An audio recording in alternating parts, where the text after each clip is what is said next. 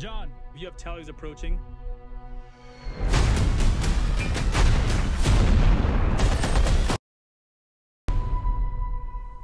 You still don't remember a thing.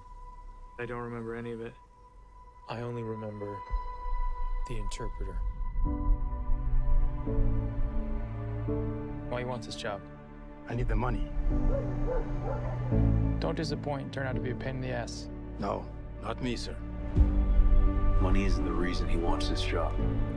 It's Taliban killed his son. Stop the vehicle, Sergeant. We don't want to go down this road. You're out of your bounds, Ahmed. You're here to translate. Actually, I'm here to interpret. John, you have tallies approaching.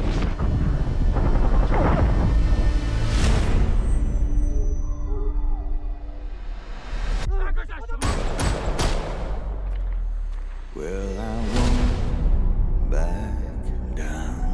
three weeks, this family believed you were dead.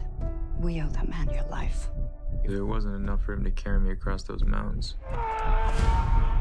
Now he's hiding in a hole somewhere. I should be in that hole. You could stand me up at the gates of hell. Everything all right, John? No, everything's not all right. There is a hook in me. Ahmed and his family are in trouble. We can't intervene. I am gonna have to get him out myself.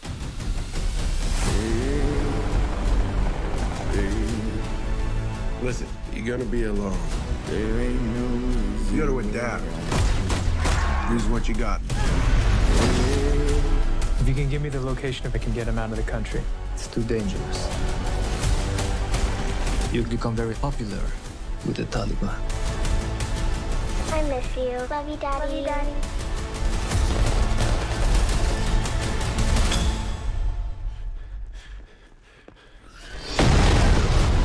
You think if I could be free of this debt, I wouldn't be?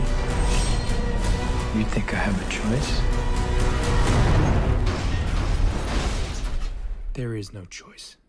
No one